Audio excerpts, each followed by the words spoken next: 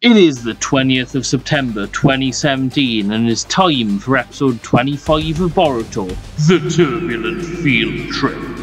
And for those of you with a great attention to detail, you may realise that I missed out on episode 24. I do apologise for that, I was away from the house last Wednesday and I didn't have time to set a video to upload to explain why I wasn't there. Long story short, I went camping. It was terrible and I kind of regret doing it, but whatever. These experiences form us. Anyway, enough about that shit, let's discuss a field trip!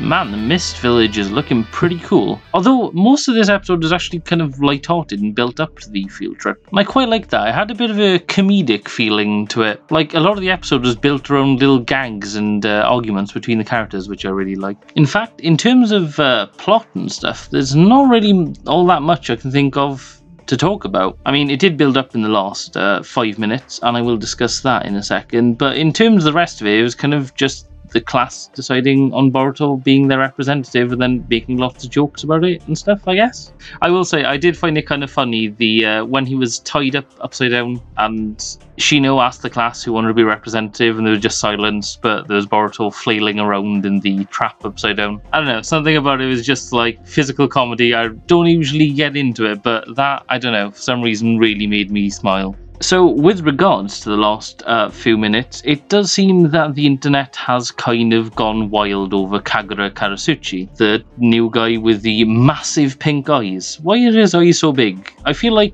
even characters with big eyes in the series don't quite have such large eyes, but I don't know, this guy's kind of take up 25% of his head, though I suppose that does also kind of describe moe anime in a nutshell. He's cute, I guess. I don't know. I don't really go in for anime boys, unfortunately, so I can't really tell if he is actually adorable or hot or wherever. But from what I've seen, there are quite a few fans of him already, so I'm sure when he inevitably turns evil, that people will be heartbroken, or they'll support him anyway. After all, there was a massive fan base for Itachi, and he was objectively kind of a dick until about 400 episodes in. But I really do like the kind of sinister vibe they're building up, and obviously this episode kind of the whole purpose of it is to be the intro to the mist village arc or whatever this is going to be. Although honestly i do kind of get the feeling this is maybe going to be a little bit fillery. I mean i've said this in the past and it is kind of difficult reviewing episodes week to week because you can never tell if something is going to be filler or if it's just the start of an arc that feels a little empty maybe. But regardless i did kind of like this that they built up the light-hearted start to the episode episode and then ended with the kind of threatening tone. Iwabe's mention of it being the Blood Mist Village kind of started off as something like, oh yeah, of course, you've got some dark past. Which will be interesting to see uh, Iwabe because he is a character I'd really like to know more about because he's not actually related to any of the legacy characters. As far as I know, and as far as we know, I presume that his parents aren't anyone we knew in Shippuden or anything. So it will actually be cool to see his background. And I assume it's something to do with the Seven Swordsmen of the Mist because, you know, he wields a sword and stuff. But I kind of like the you know, he kind of set it up and then they started wandering down an alley and got in a fight. And the other guys also referred to the place as the Blood Mist Village. So I can't quite tell if they're setting it up to actually be a bit of a dark arc or maybe this is more of a psych out where they're going to build it up and people are going to be like, oh, something bad's really going to happen. But then, I don't know, two or three episodes later, another big bad arrives or something, and maybe Kagura helps them. I don't know. Again, this is pure conjecture, but that's kind of what reviews are for, really, just guesses and stuff. But overall, I really liked it. The uh, really brief fight scene between Boruto and that guy in the alleyway was pretty cool. I know it was literally three punches thrown or whatever. But yet again, is pretty well animated and I like that Boruto kind of focuses on smaller fights as well. Obviously, larger scale fights are still really fun, and there have been some, but I really like the small half minute fights that are just very brief trading of blows until they, you know, come to some conclusion or whatever. And I gotta call out one or two little things in the episode that I really liked as well.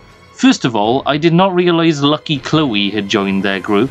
Those of you who don't know, Lucky Chloe is a character from Tekken who is objectively one of the best characters in the game. Actually, I think she's low tier, but I really like using her. And man, if you want to get me excited in something, all you've got to do is mention a card game. Twice in this episode, Boro mentioned the Shinobi card game, and I am genuinely really interested now. I know there is actually a Naruto trading card game that I've never really got into because unfortunately they don't seem to be selling it in the UK. And on eBay and Amazon, they seem to be quite pricey. But man, the concept of an in-universe trading card game, I know it's not going to actually matter or anything. They're probably not even going to bring it up again, but I don't know. I got kind of excited with that. And talking about excited, it's time to discuss next time where it seems to be more about Kagura, and it seems to be like Kagura and Iwabe have a rivalry. Because they mentioned that Kagura is in line to maybe be the new Tsuchikage. Tsuchikage? Tsuchi, oh god, I Tsuchikage. There we are. And maybe Iwabe was in the running as well, because he's a swordsman, and as I mentioned previously, I reckon he's probably got something to do with the Swordsman of the Mist. I could be wrong though, I don't know. But either way, Kagura has the potential to either be a really creepy character or a cool character, although he does really strike me as a filler character, because they always kind of make a design for one or two characters in filler arcs that make them very distinct, but you know, they only exist for that filler and are never seen again, so who knows. And that about wraps it up for episode 25 of Boruto. Thank you very much for watching, and as always, if you do want to subscribe, that would be very much appreciated. If you enjoy the video as well, maybe giving a thumbs up would be cool, or giving a thumbs down if you did not like this video. And if you did not like this video, or if you have anything else to contribute, then do feel free to tell me in the comment section below. As always, I will try to respond to anything that isn't spam Instagram. And until next time, goodbye.